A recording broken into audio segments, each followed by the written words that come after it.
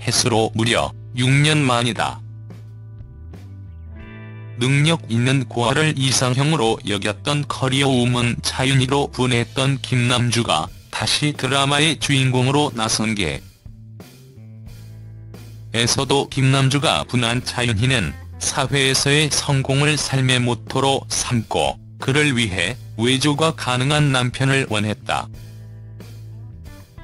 그러나 행운이라 생각했던 그 이상형 방귀남에게 잃어버린 가족이 나타나면서 잘 나가던 커리어우먼 차윤희에게는 층층지하 시집살이의 난이 시작되었다.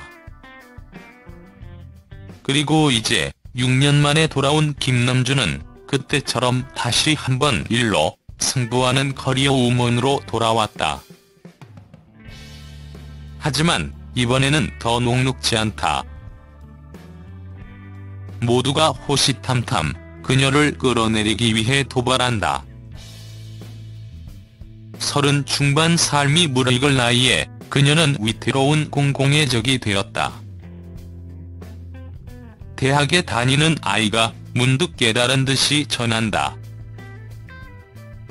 학교 수업 시간, 사회 강내로라 하는 분야에서 성공을 거머쥔 선배로서 학생들에게 자신의 노하우를 전수하기 위해 강단에 선 사람들 중 여성 거의 대부분이 싱글이었다고.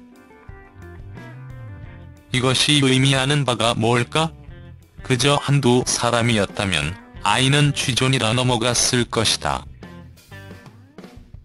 하지만 학교 문을 나서서 사회에 진입한 여성들이 겪는 일과 사랑, 결혼에 양립할 수 없는 딜레마를 묵도하고 있는 현실에서 강단에 선 선배 여성들의 모습은 우리 사회의 또 하나의 현실로 받아들여진 듯했다.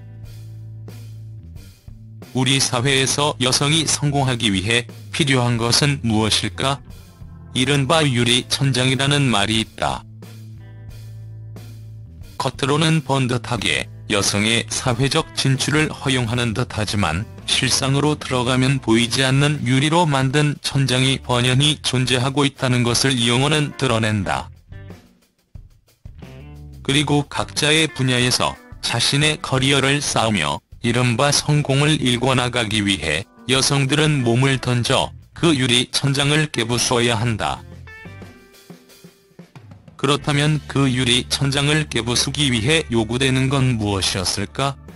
바로 그 극단의 예를 다시 한번 커리어 우먼으로 돌아온 김남주가 분한 미스티의 고혜란이 보여준다.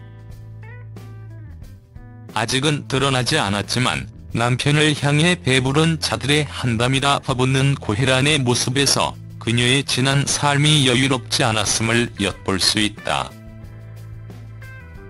난리를 치며 그녀를 요양원으로 불러들인 그녀의 어머니는 이제 서른 중반의 그녀를 여전히 20대 중반으로 착각한 채 다그친다. 잠시라도 자신에게 틈을 내어주지 말라고. 관리하라고. 그래서 성공하라고.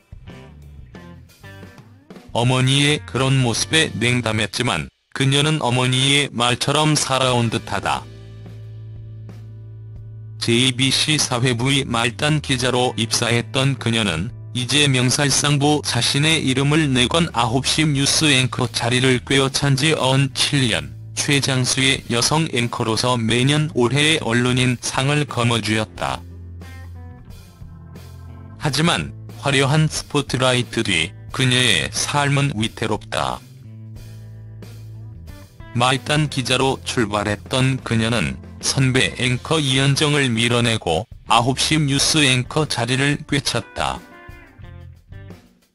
하지만 그 자리를 얻기 위해 그녀는 뱃속의 아이와 남편을 희생시켰다.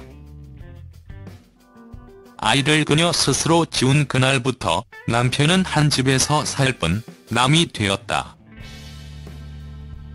남편은 그녀가 필요로 할 때까지는 남편의 자리에 머무르겠지만 그 이상은 없다고 단언한다. 남들이 보기엔 검사, 그리고 변호사와 앵커의 황금 조합이지만 그녀의 집엔 냉기가 흐르고 배란 일마다 시어머니는 한약을 쥐어들고 그녀의 집을 찾는다. 그렇게 아이까지 희생하고 얻은 자리, 이제 그 자리를 발판으로 좀 더 큰 물에서 논일고 싶었던 그녀에게 뜻밖에도 방송가의 젊은 물 운운하며 후배 기자 한지원이 등장한다. 드라마는 이제 방출 위기에 놓인 여성 앵커 고혜란을 중심에 세운다. 고혜란을 중심으로 그녀에게 밀려난 후 뒷담화 등으로 그녀를 괴롭히는 선배 아나운서 이현정과 사회부의 신망을 얻으며 그녀의 자리를 노리는 한지원을 내세워 여성 versus 여성의 대립각을 첨예하게 드러낸다. 겉으로 드러난 건 고혜란에 밀려나서 그녀가 쓰러질 것을 원하는 패자 이연정과 호시탐탐 그녀의 자리를 노리는 유망주 한지원의 여여 갈등이다. 하지만 그 이면에는 그녀들을 장기판의 말로 사용하는 시청률 지상주의자 국장 장규석과 역시나 그녀에게 앵커 자리를 빼앗긴 채 한지원을 무기로 그녀에게 복수를 절치부심하는 오대웅의 연합 세력이 있다. 거기다 그녀의 발목을 잡는 건 사회만이 아니다. 묵묵히 한약을 지어오는 시어머니에 남들이 보기엔 일과 사랑 두 마리 토끼를 잡은 성.